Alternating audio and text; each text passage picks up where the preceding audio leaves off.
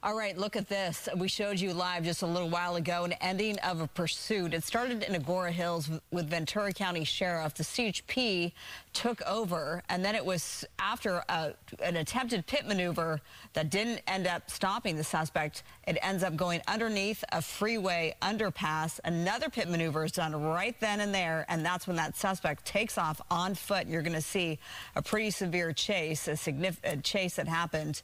And then that suspect was taken into custody, ended up, as mentioned, in uh, starting in Agoura Hills and ended in the Woodland Hills, Tarzana area. And there you see the suspect running and good work by those officers who took down that suspect. And interestingly, uh, not long after that, in his vehicle, it popped out a Santa suit onto the ground.